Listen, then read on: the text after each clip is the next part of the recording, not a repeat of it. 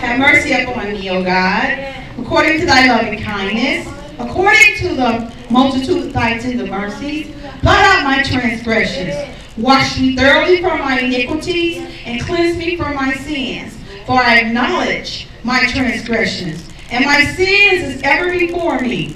Against thee and thee only have I sinned, and done this evil in thy sight, that thou might be justified when thou speakest, and be clear when thou judgest. Amen. Praise God. I'm going down to the um, seventh verse. Uh, purge me with thy hyssop, and I shall be clean.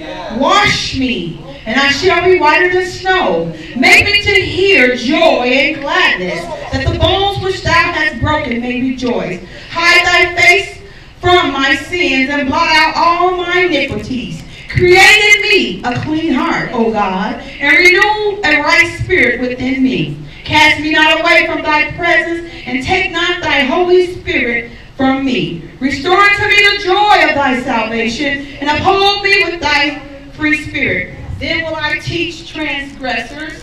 Amen. Praise God. Uh, thy ways and sinners shall be converted unto thee. Amen. Praise God. I read for you Psalms 51. Amen. The first, well, I just read for you Psalms 51. May the Lord add a blessing to the reading of his word. Amen.